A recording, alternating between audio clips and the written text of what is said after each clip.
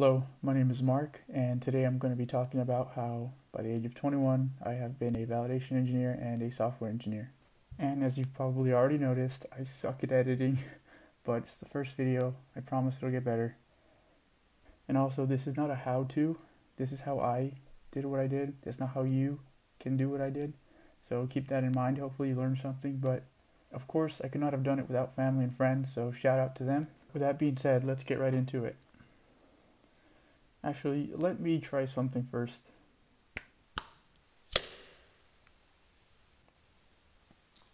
Oh my god! Wow! I don't know if that makes it any less distracting or how smooth that's going to look once I actually edit it, but I had to try.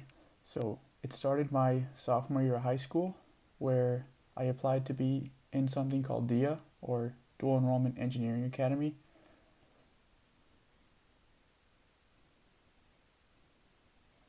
And I got accepted. So the summer before my junior year, I started going to the local community college and taking courses there. I don't think I had a choice in the courses that I took uh, because we all did the same ones under the associate's degree. So during high school, I would go to high school, of course, the first half of the day, and at about 12:30, I think I would take I would either drive or take a bus to the local community college, which was probably five minutes away. I did that through all of high school, and long story short, I graduated with an associate's degree in science from the local community college. And it was actually about a, a month before I actually graduated from high school. So after I graduated high school in 2017, I went to a university nearby. Uh, it was the University of Texas Rio Grande Valley, and it was about 15 minutes away. The associate's degree that I got from the community college transferred completely. So going in, I already had about two years done. So during college, I lived at home with my parents about 15 minutes away. I joined clubs like SHPE and IEEE, and I had one internship. In the summer of 2019 is when I did my internship and when I slowly started applying for full-time positions. I want to say I applied for about 100 in total, and I had no idea what I wanted to do with my degree. I did as many interviews as I could. I worked on my resume, and I ended up with three offers by the time I graduated.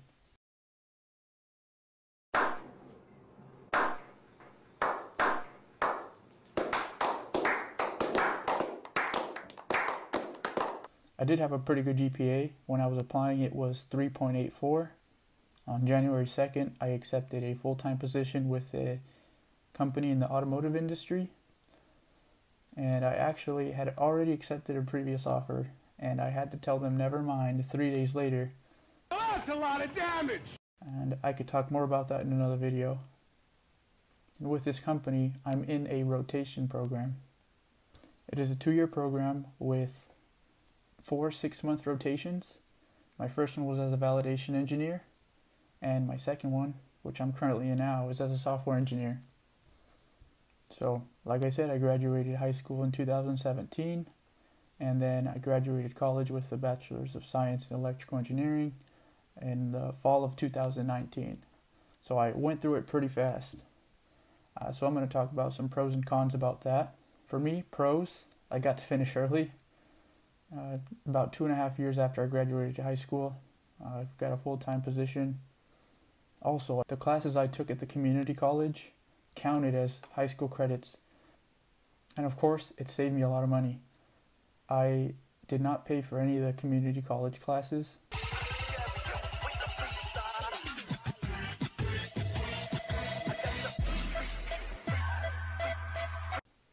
And since I went to a smaller university, it was cheaper. Some cons. It did have an impact on my social life. I'm not very social anyway, so that was like okay for me. I also missed uh, like half of my football practice.